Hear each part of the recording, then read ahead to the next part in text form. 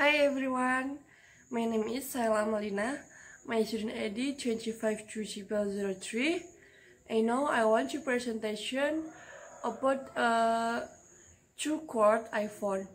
First, in I quote in an article in the journal on social psychology experimental, there is a professor of social psychology at Kent University named Dr. Roger Giner Sorolla, who says, as an institution, we can do more to support representation and equality, both in ourselves and in society in general.